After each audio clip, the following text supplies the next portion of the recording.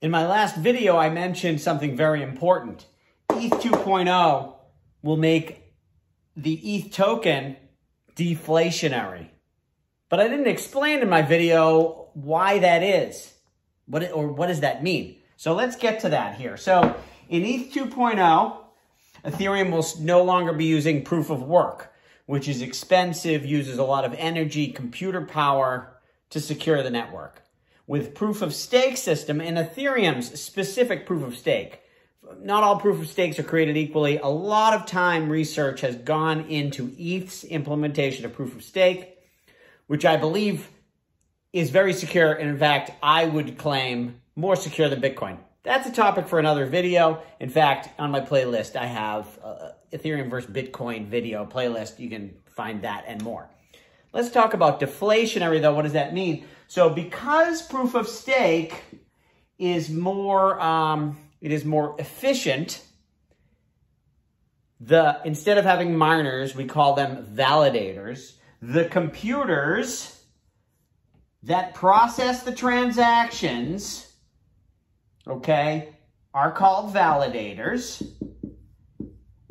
In proof of work, they're called miners.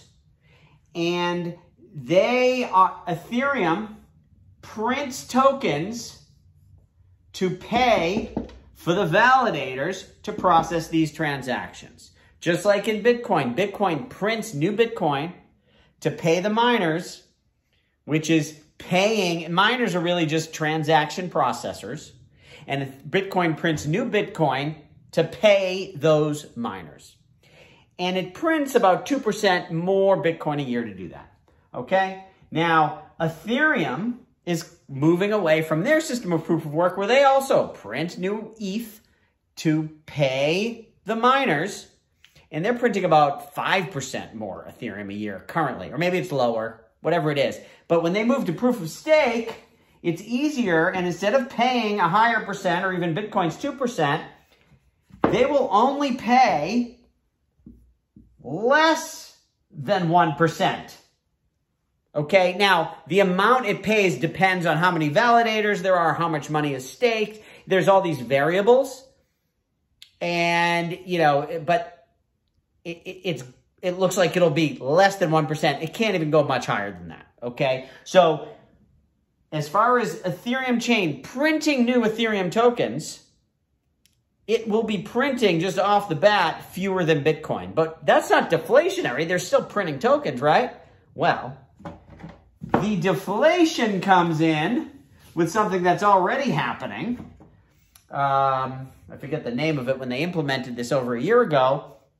So transaction fees, when you pay every transaction that is performed on Ethereum, you pay fees for it, and you pay those fees in Ethereum all of those fees used to go to the miners or and now those are going to become validators but instead of those fees going to those transaction processors the fees the eth paid in fees gets burned. And maybe you've heard the fees on ethereum right now are expensive. And you know now if the fees on ethereum become less expensive then less ETH will be burned. If there were no transactions on Ethereum, right, it wouldn't be deflationary because they are printing new tokens.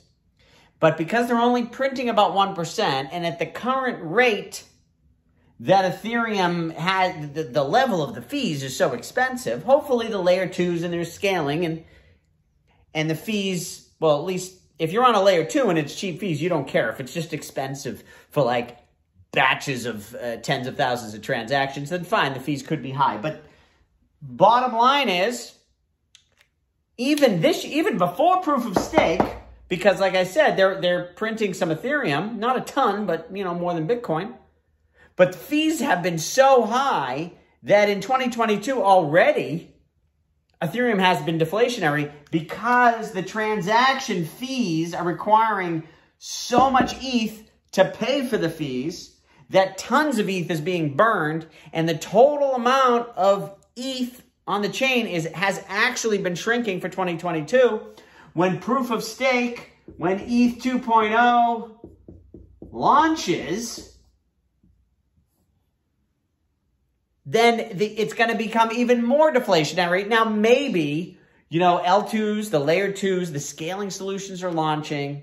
We're in a bear market, so maybe the transaction fees goes down, so Ethereum is not burning as much, but they won't have to print as much in the first place with ETH 2.0. And anyways, the projections are uh, Ethereum's already deflationary. Bitcoin isn't. And it's projected that that will continue.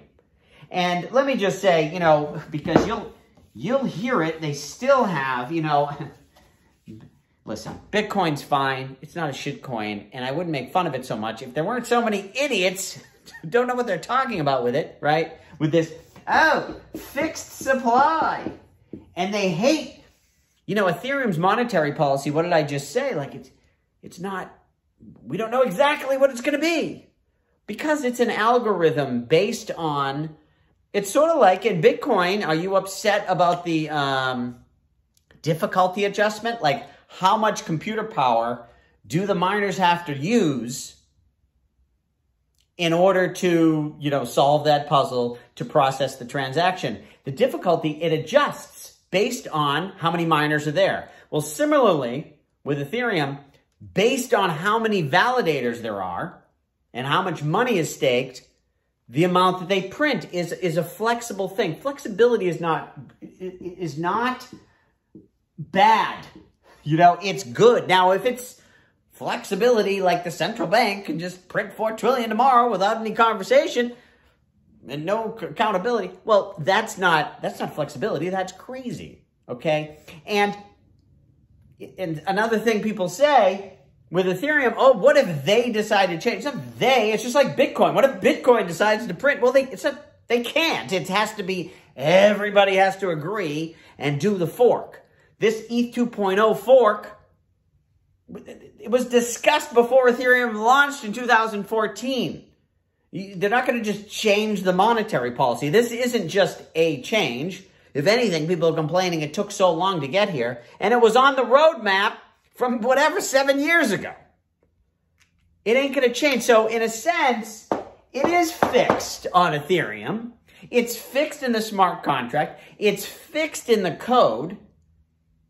And it's not changing, okay? But the amount that gets printed is dynamic so that it's more secure and runs well, just like Bitcoin's difficulty adjustment. So in a sense, uh, you know, so it's, this is not a haphazard thing. This isn't, what if Vitalik decides a new monetary? It, it's not like that, okay? What do you think, guys? You, you understand what I'm saying? Anybody excited here about ETH 2.0? Let me... Everybody give me a ho! Ho, ho, ho! Okay, yes, it's very exciting. Um, so, put in the comments below. Type ho, ho, ho. so, I don't know. I'm losing my mind here today.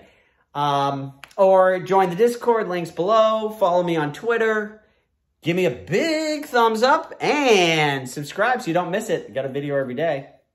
Learning, it's important stuff. And I hope you're accumulating in the lows here, right? ETH, 80% off the highs just before a major upgrade. Listen, three to five years from now, you'll be happy. Just need a little bit. It'll 10x or more. Okay, just, just a little. And it can go down more. Don't wait for the low. You buy when it's not stupid. Last year was stupid. This year's not stupid. Are you stupid? See you tomorrow.